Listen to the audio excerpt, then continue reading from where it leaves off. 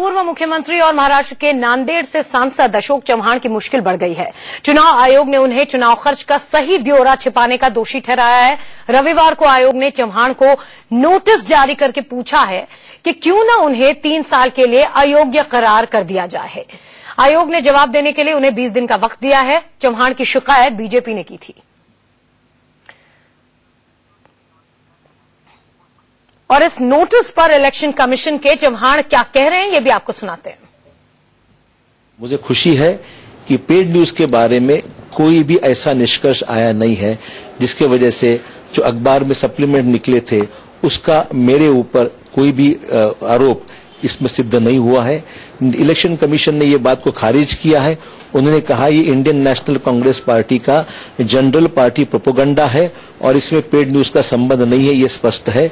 मेरे 85 भोकर विधानसभा इलेक्शन चुनाव क्षेत्र का और इस इस सप्लीमेंट्स का कोई संबंध नहीं है। इसमें मेरी मेरी कैंडिडेचर को प्रमोट करने के कोई भी बात उसमें कहीं नहीं